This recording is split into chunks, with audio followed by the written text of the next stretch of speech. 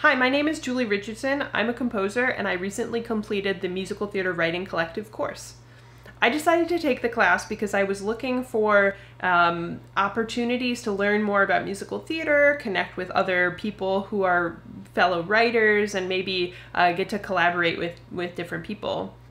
As a composer and songwriter, I'm always on the lookout for classes for how to how to improve my craft, get better.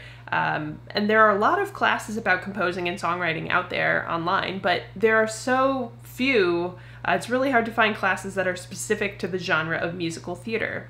And I live in Boston uh, rather than New York. A lot of the musical theater specific education happens to be centered in New York.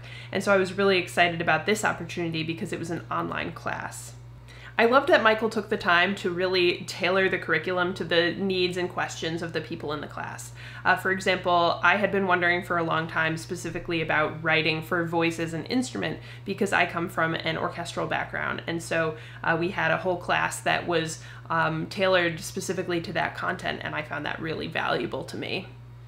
I also absolutely loved the sharing and feedback process. So, like, we got to write songs as part of the class and present them uh, for both um, what's working and, and what might you do to improve the song. So, it was a really great way to be able to put your work out there.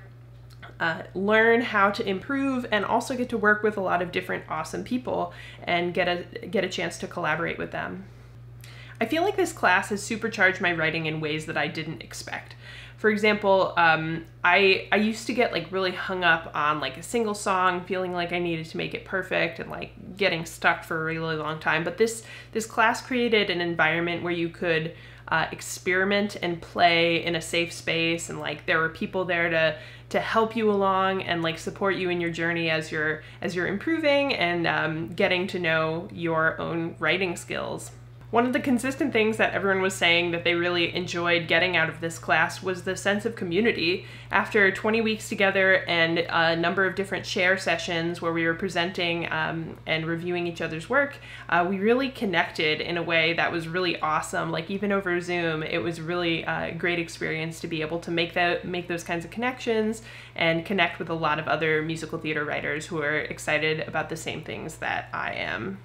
The class is also a really fabulous way to meet lots of different other collaborators. Um, I, in fact, am in talks with one of my classmates about a possible longer term project after the class is over, um, which is an opportunity that I would never have known about if it weren't for taking the class.